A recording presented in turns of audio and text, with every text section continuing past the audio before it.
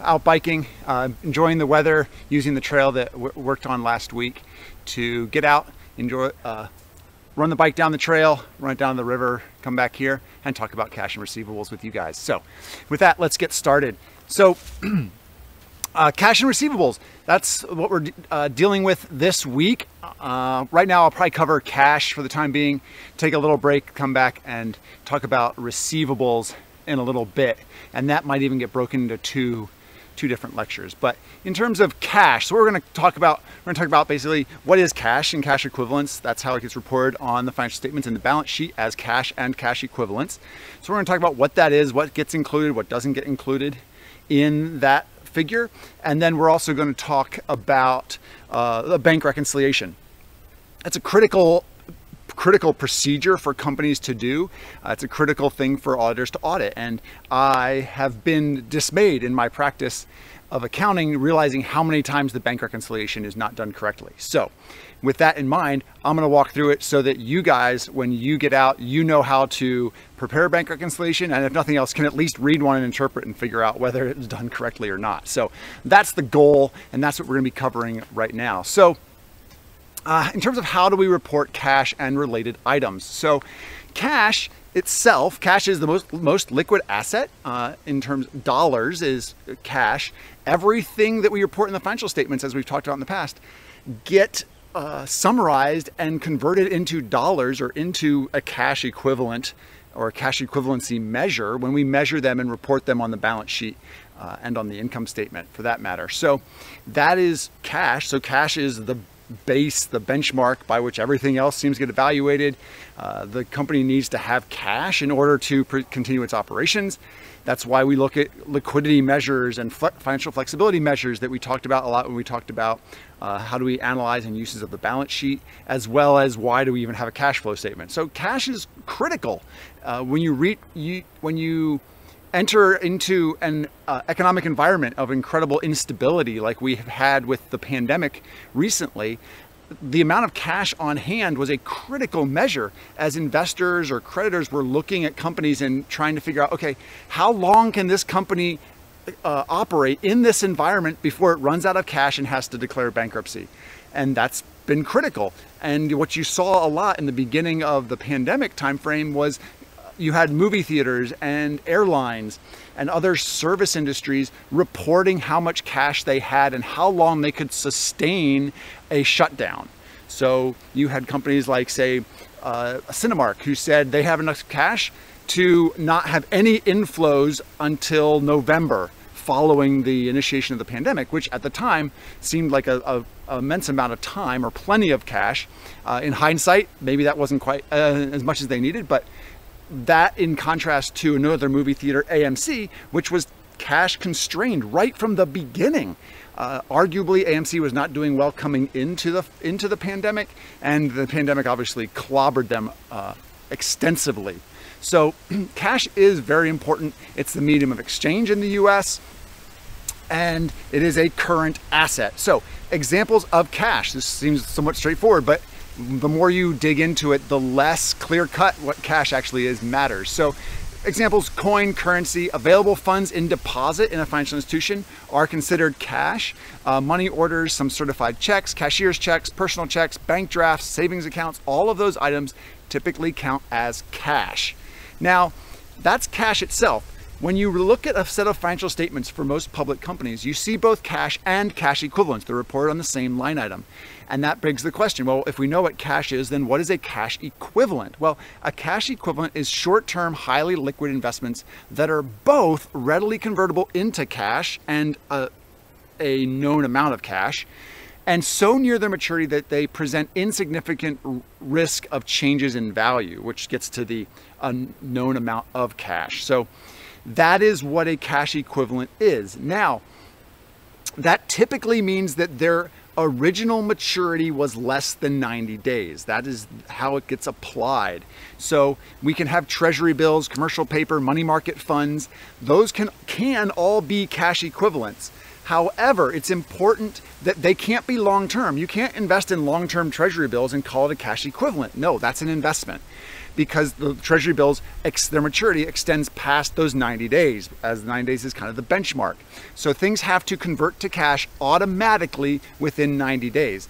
Now, this caused some problems actually during about the a uh, little bit before the financial crisis, actually, where money market funds got came under a lot of scrutiny because most companies reported money market funds as a cash equivalent. However, the financial instruments backing up a money market fund sometimes extended beyond a three month maturity, which introduced possible valuation risks. So a lot of companies had to go back and pull a lot of what they are calling cash equivalents, which are these money market funds, out of cash and report them actually as uh, kind of short term investments. So that's kind of where things start to get a little squishy. Uh, but that's generally what we call cash and now cash equivalents. So within this area, we can have restricted cash. Now, keep in mind, one thing to keep in mind, restricted cash is not a cash or cash equivalent on a from a balance sheet standpoint. And that is because the company does not have the ability to spend it on its operations. Therefore it doesn't meet the definition even though technically it is cash from a I'd say secular definition standpoint. From an accounting definition standpoint if the cash is restricted it is not reported as cash and cash equivalents. It's instead reported as restricted cash and restricted cash can be either short term or a long term asset, depending on when the restrictions on that cash uh, get lifted and the company can actually start using it again. So there's any number of reasons why a company may restrict its cash or a board or be forced to restrict its cash because of loan covenants. Um, a company may restrict cash for a plant expansion if it's saving or that cash is designated for a specific plant expansion. Retirement of long-term debt. Uh, there are times when the uh, covenants associated with a loan require the company to maintain cash to use for the final eventual payoff of that loan. That would be restricted because it's not available for the company to use in its operations. Instead, it's being held for the payment of a loan. And it can also be cash that is sitting as a compensating balance, for instance, in a bank account or something where the bank requires them to maintain some level of balances in the account just for routine operations. So you see that a lot with some financial services industries where they must have cash, um, some amount of cash sitting in the bank just to clear their transactions. Uh, so that's what we see. Um, as I'll, I'll, I'll put this up, but uh, for instance, if we looked at Tesla's financial statements, so Tesla reports cash and cash equivalents. They also report restricted cash, both current and long-term restricted cash. Now, if you were to tie everything out, the cash, cash and cash equivalents reported on the balance sheet is the cash and cash equivalents reported in a schedule that's reported in their notes to the financial statements that reports cash and cash equivalents. And importantly, that excludes roughly $500 million of restricted cash that Tesla does not have to use in its operations. If you actually looked at Tesla's uh, notes to the financial statements on when they talk about restricted cash, it's, it talks about um, they maintain certain cash balances that are restricted as to withdrawal for their use. The restricted cash is comprised of um, uh, primarily cash and collateral for the sales and lease partners. So that cash is held basically to back up a liability in this case, uh, some of their lease liabilities. So that is how Tesla reports it. And that's why cash and restricted cash, as we see on Tesla's financial statements, is not included in cash and cash equivalents on the balance sheet. However, it is included when we deal with cash on the cash flow statement. So that does, you do put changes in restricted cash through the cash flow statement, which if you followed through Tesla's financial statements, uh, you would see that. And it's actually evident in the note when they say, when the final number of cash, which includes cash and cash equivalents as well as restricted cash, they say that's the total presented on the consolidated statements of cash flows. So that's basically showing you how they tie that out. Because if you were to look at their statement of cash flows, it wouldn't tie to their balance sheet cash because of restricted cash. So that's restricted cash. There's a couple of other items. We have bank overdrafts. So if a bank writes checks that exceed the amount that are sitting in uh, in their bank account, that's an overdraft. So that is tech, that is actually a current liability. It's due to the bank. It's not cash. It's actually uh, negative cash, which is actually debt. So um, that is reported as a current liability. They can offset it against other cash, but only if the bank has the right to offset it itself. So if you say you have two accounts at your bank, a checking account and a savings account, and your checking account is overdrawn and the bank has the right to take the money out of your savings account, well then you could you could offset that in your financial statements as well. If there's no right of offset within the bank, cash has to get a negative cash has to get reported as a current liability, basically as a due from banker overdraft uh, overdrafts. So that's how that gets reported. With that, we are going to move on to the cash reconciliation. So as we walk through cash reconciliation, the idea behind it is we're it's a schedule explaining differences between the banks and the company's records of cash. So the bank has its record of cash, which is what you see when you get your bank statement every month, or you look at your bank statement, uh, or you look or log online. That is the record of the cash you have in in your bank account. That's the bank's record. That is what you're looking at. You're actually looking at their accounting records. You're looking at one of their sub ledgers in their accounts. Uh, frankly, their accounts payable. Your bank account is a is a account payable for the bank. And when you log on and look at your statement, you are looking at a sub account within the bank's accounts payable, what they call it deposits. It's a, a current liability for the bank. So they have their accounting, and then you have your accounting, which is the company's accounting in our case. And the company's accounting of what they say the cash balance is needs to be reconciled to what the bank says that the cash balance is in the bank. So reconciling items, there's typically kind of four main items that we look at. We look at deposits in transit. Those are deposits that the company has sent to the bank, but the bank has not received and processed them and applied them to the customer's account yet. Those are deposits in transit. Deposits in transit cause the company's balance, cash balance, to be higher than the bank's cash balance for that company. So to reconcile, you would add that amount to the bank's balance. Next, we have outstanding checks. They're like deposits, but the flip side. So the company may have written checks or, or sent money or paid bills that have not cleared the bank yet. So they are either in the mail or they are being processed through the banking system. But regardless, the bank is not aware of those outstanding checks yet or those checks yet. So the company has reduced its cash balance because it wrote the check and sent it out, but the bank has not reduced the amount of cash that it says the company has because that check has not cleared through the bank at this point yet. So we have deposits in transit, we have outstanding checks. Those are by far the two most common air, uh, most common reconciling items. And those are reconciling items to the bank balance because these are things the company has done that the bank is not yet aware of.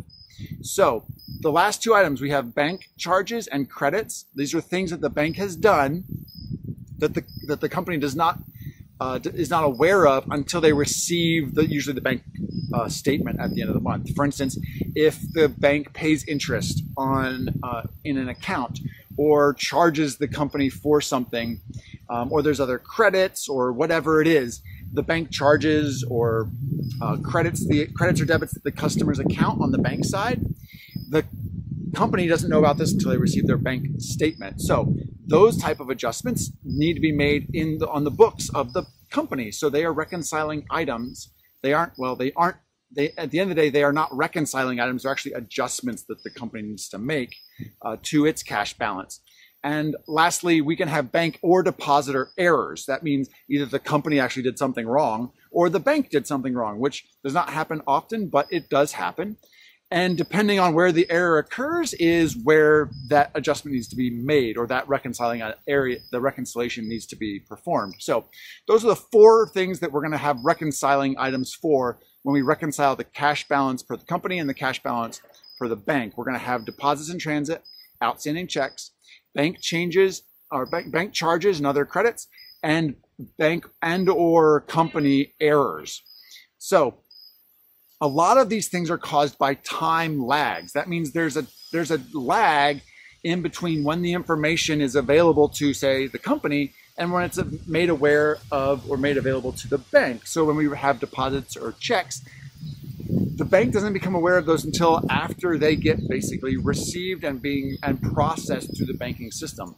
This, depending on the mechanism and where, frankly, where things are being done, just the processing of checks can take three to five days, which is rather long. And yes, it is long. Most of them are actually digitalized now. They used to be hard copy. Literally, the check would flow through the system physically. They're now digitalized for the most part. They are digitalized and run through the system that way, which speeds up the process uh, extensively.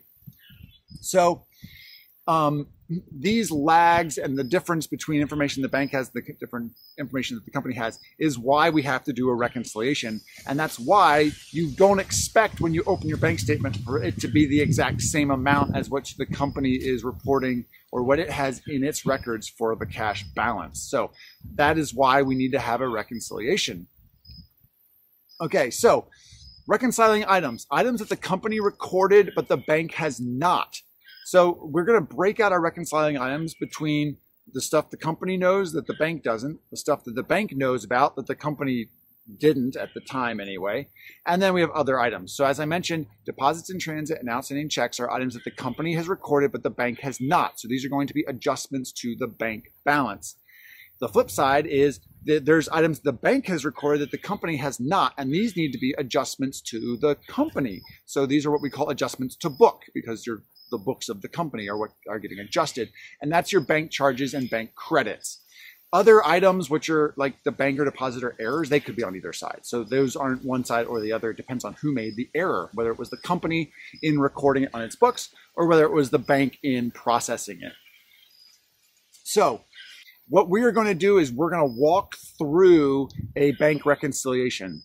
so our illustration here, we have a mining company their books show a cash balance at the, at the Denver National Bank on November 30th in 2017 of $20,502. And the bank statement covering the month of November shows an ending balance of $22,190. An examination of the company's accounting records and November bank statement identified the following reconciling items. So here we go. We start our reconciliation with the balance per bank and the balance per book. So the bank balance, so the statement on the bank balance is $22,190. The state the balance per book is $20,502. So we have our balance per bank and our balance per book. Now, here are the reconciling items because those two balances don't balance right now. We need to reconcile them, reconcile them, which means we need to put the items in that adjust the two balances so that they're the same. So they should be the same. They should reconcile. So first of all, a deposit in the amount of $3,680 that the company mailed on November 30th does not appear on the bank statement. So a deposit the company mailed, it's not recorded yet. That is a deposit in transit.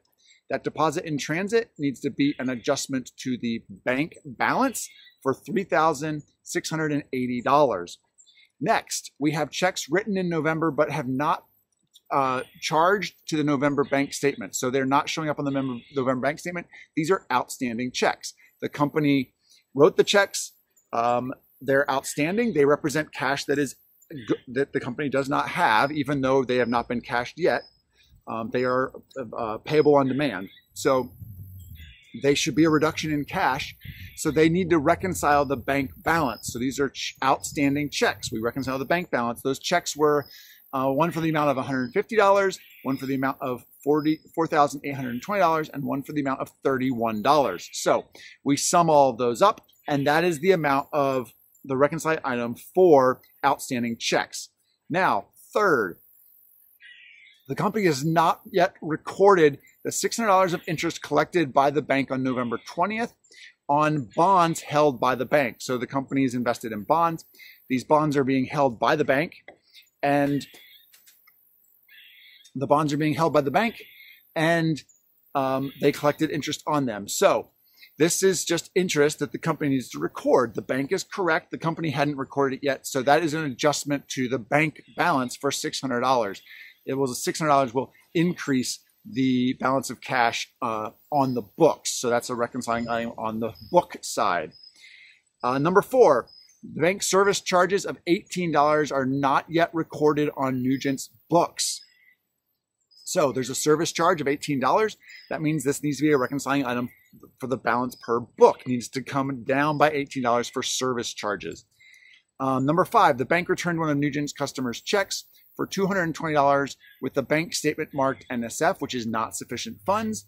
The bank treated this bad check as a disbursement. So in this case, Nugent had a check they deposited in the bank. However, there were not sufficient funds in the uh, in the person who wrote the check's account to cover the check. So those checks get returned NSF or not sufficient funds, which means they couldn't pay it out. The bank will then take that money out of Nugent's, um, out of the customer's account uh, because it's not money that was actually deposited because the check was a bad check. So that's the pro- that's the process here. So in this case, Nugent had a deposit recorded that it should not have. So it needs to adjust its cash balance down for $220 for that check that was returned NSF.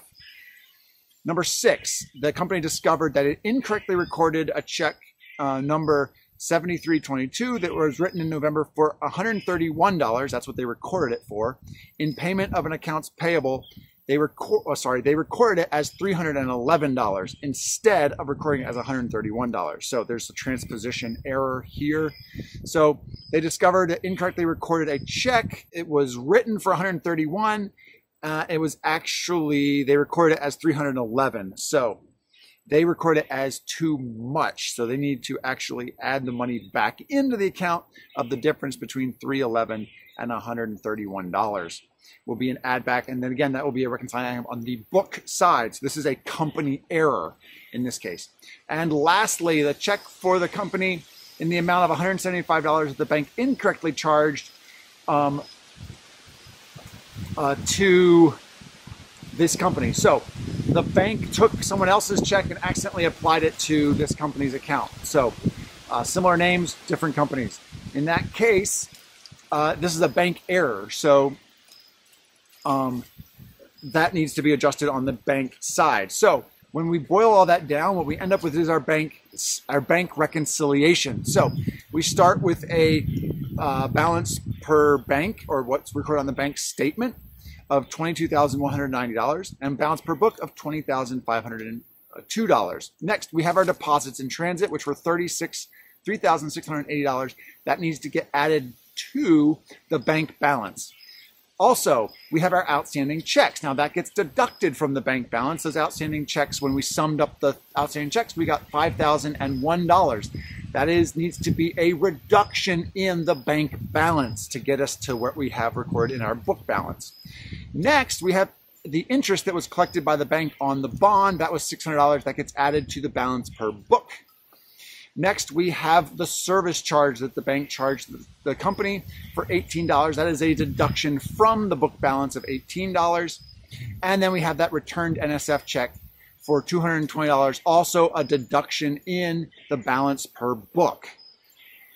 Uh, wrapping up, we have the error that the company made uh, when they transposed the amount. Now, that is an addition to the book balance because they record it for they recorded this check for a higher amount than it actually was. So they took too much out of their account for this error. So we need to add back that error. That error is $180 so that is an add back to the book balance. And lastly there was the error that the bank had where they had incorrectly um, taken uh, a check written by another company out of our bank account. So that is going to get added back to our bank bank statement balance for $175. So when we pull all that together, our reconciled balance for um, our cash, our reconciled cash balance is $21,044. We have reconciled it, which means we have gotten to the point where the bank balance and the and the book balance is the same with the reconciling items in there. That balance is $21,044. That is the reconciled balance.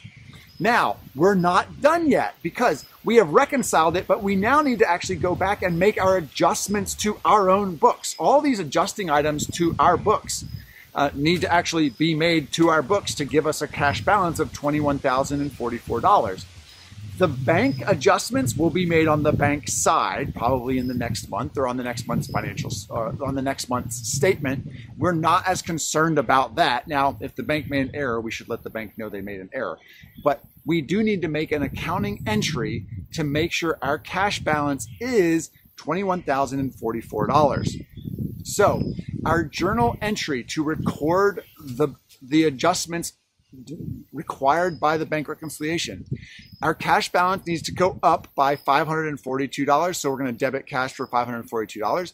We have expenses of $18. So those need to be recorded as uh, expenses for $18. Next, we have accounts receivable for $220. Remember, this is that NSF check that we took out of accounts receivable and now needs to go back in there because that customer now still owes us the money. They gave us a bad check that the check was returned to NSF, they now still owe us the money. We need to put that back in to accounts receivable. We have the accounts payable, which was our transposition error that needs to get um, increased. So we need to credit accounts payable for $180 for that transposition error. We had we earned interest revenue, so we need to credit interest revenue for $600, and that balances out. Once we record that entry, our balance in our cash account will match our reconciliation. That's critical. We can't skip the step of actually making the journal entry or we all we did was reconcile cash, but our books are still wrong. So we need to make that entry. Now our books will be correct and we'll be all set. So, um, that wraps up the bank reconciliation. Hopefully that was helpful. Hopefully uh, you now know how to do that and can work through that, identify which items get recon- are reconciled on the book side, which are a bank reconciliation side, and then how do we record the journal entry at the end of the day and the importance of actually doing that. So that wraps up our cash discussion. Next, we'll be moving on to uh, accounts receivable. So with that, I'm going to go for a quick little ride here. I'll be back, and uh, then we'll work through our uh, accounts receivable.